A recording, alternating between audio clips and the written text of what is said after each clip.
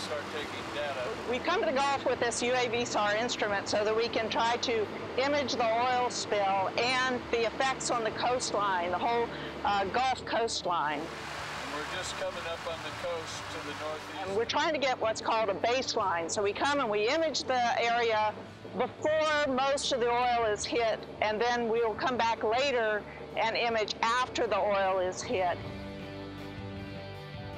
This airplane has a precision path autopilot that was built at Dryden. We interrupt the antenna signal to that part of the autopilot and we send our synthetic one there.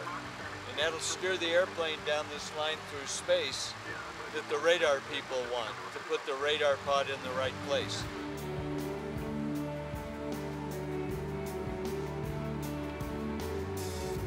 This is called the UAV SAR radar. It's an L-band radar. That means that it's got a wavelength radiation that's about 10 inches. This is a, a, long enough wavelength so that we can see through clouds. The other thing is that this is a polarimetric radar, so it transmits radiation in two polarizations and will receive radiation in two polarizations. And those two polarizations scatter differently from vegetation, from water, so we can use that to try to understand what's going on on the surface, looking at the difference between the different polarizations. We're going to go to this point we're going to go out here and then we're going to do this line coming back.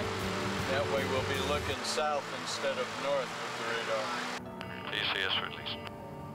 All right, looks good. Go ahead and release. Released. All right, PPA's engaged. I've got it. It's staying on pretty good. It's staying within about two feet right now on the lateral. I'm still working on the altitude. All right, Tim, looking pretty good in the tube here. 12 satellites. Those pictures. 29, 3.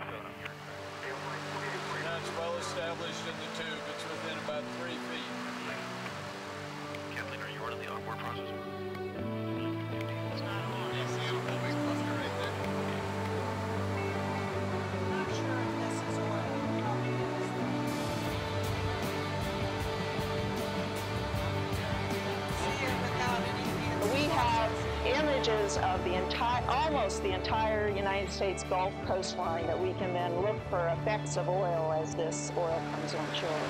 Okay,